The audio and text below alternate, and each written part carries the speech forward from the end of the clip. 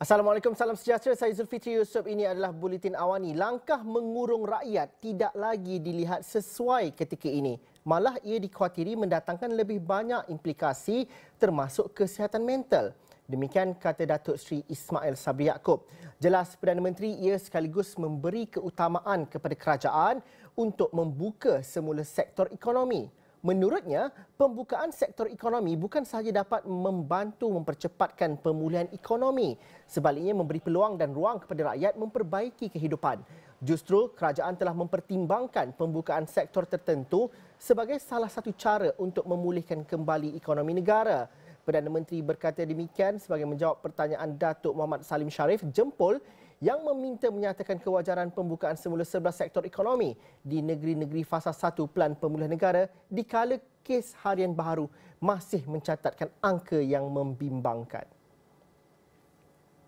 Pembukaan semula 11 sektor ekonomi di negeri-negeri fasa 1 Pelan Pemulihan Negara wajar berikutan dengan keputusan penerima vaksinasi yang tinggi ketika itu.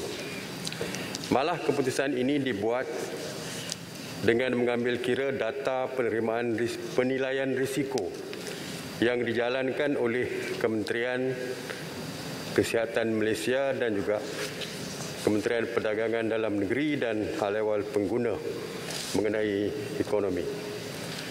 Untuk makluman, ketika ini, sehingga bulan September ini, 74.7%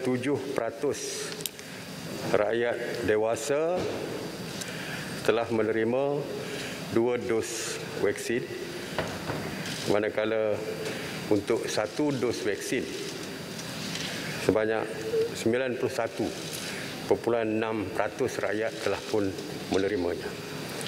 Selain daripada itu, sektor-sektor ini dibuka dengan SOP yang ketat termasuk hanya membenarkan pelanggan yang telah divaksin lengkap sahaja untuk masuk membuat urus niaga dan mendapatkan perkhidmatan. Manakala pekerja-pekerja di premis-premis yang berkaitan juga mesti telah pun lengkap dengan dua dos vaksin. Langkah mengurung rakyat.